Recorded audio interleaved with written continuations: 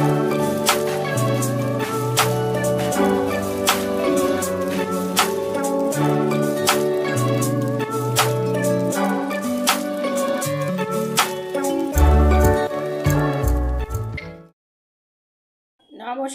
তাপসীর Bengali কিচেনে আপনাদের সবাইকে স্বাগত।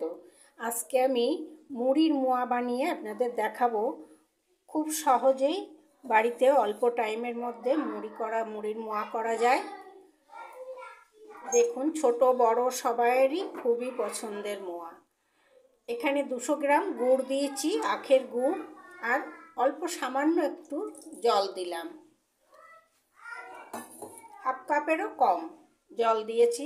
এটাকে ভালো করে ফুটিয়ে নিতে হবে।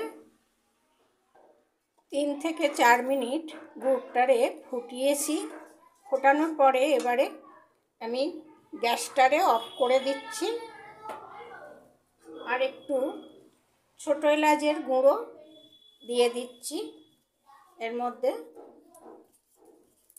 দিয়ে গুড়টারে একটু ঠান্ডা করতে হবে। দু তিন মিনিটের জন্য এরকম করে নেড়ে নেড়ে ঠান্ডা করব। বেশি ঠান্ডা হবে না, অল্প একটু ঠান্ডা করে নেব গুড়টা।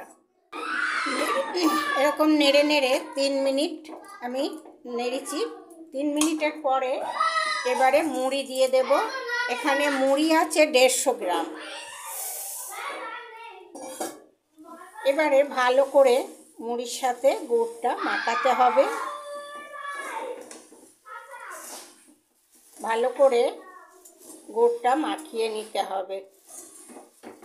গুড় মাখানো হয়ে গিয়েছে। এবারে মুড়ির মোয়া বানাতে হবে। মোয়াগুলো পাকাতে হবে। এখানে একটু জল নিয়ে নিয়েছি একটা পাত্রে। জল হাতে এইভাবে নিয়ে দুই হাত দিয়ে এইভাবে মোয়া করে নিতে হবে এইভাবে। দেখুন, এইভাবে মোয়া বানিয়ে নিচ্ছি।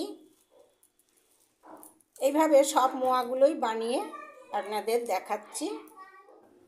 দেখুন, অল্প টাইমে কত সুন্দর মোয়া হয়ে গিয়েছে, কতগুলো মোয়া হয়েছে। আর একদম মুচমুচে মোয়া শক্ত, দেখুন।